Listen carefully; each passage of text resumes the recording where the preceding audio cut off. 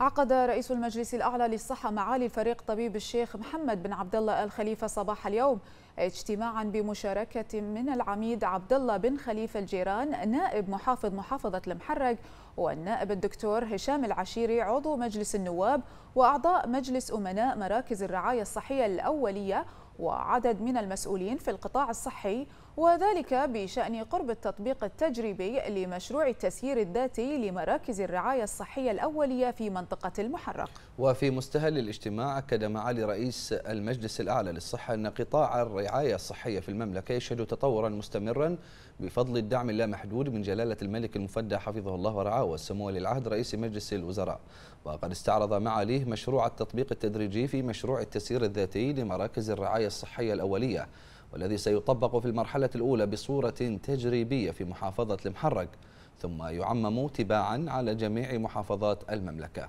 وأشار معاليه إلى التقدم المحرز في تنفيذ برنامج الضمان الصحي الوطني والذي يهدف إلى تحقيق التغطية الصحية الشاملة وتعزيز الجودة والتنافسية في تقديم الخدمات الصحية بما يلبي تطلعات المستفيدين. وأكد معاليه أن مشروع التسيير الذاتي يأتي متوافقا مع برنامج عمل الحكومة ورؤية 2030 وتنفيذ المبادرات الوطنية الرامية لمواصلة تحسين جودة الخدمات الصحية واستدامتها بجودة عالية وفق مبادئ العدالة والتنافسية والاستدامة.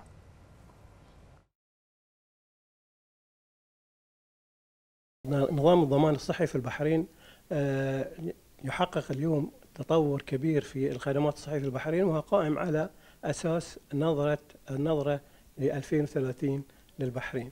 واللي أهم ما جاء فيه هو أن النظام الصحي في البحرين سيكون نظام صحي جيد مستدام فيه تنافسية وللمريض الحق في اختيار مقدم الخدمة. هذه أهم ما جاء في في في 2030 والحقيقة أن كل هذه الأشياء الأساسية اللي هي هدف آه، ضمان الصحي نشتغل عليها وبذلك سوينا طلعنا في مسألة آه، يعني وجود شفاء اللي هو عبارة عن آه، صندوق لتقديم التأمين الصحي للبحرينيين.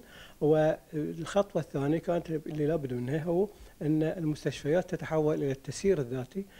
من أهداف مشروع التسيير الذاتي لمراكز الرعاية الصحية الأولية هو تحويلها لإدارة ذاتية مما يحسن جودة الأداء وينعكس على رضا المستفيد من الخدمات الصحية بالإضافة إلى رضا مقدمي الخدمات الصحية وذلك من خلال عدة برامج. منها برامج تضمن استدامة الخدمات الصحية والاستمرارية في تقديم الرعاية الصحية بنهج مختلفة آه، بعضها مبتكرة وبعضها تسهل الوصول للخدمات الصحية بشكل متساوي وبعدالة وبنظام يضمن تحسين جودة الأداء بما يضمن الوصول إلى المعايير المعتمدة.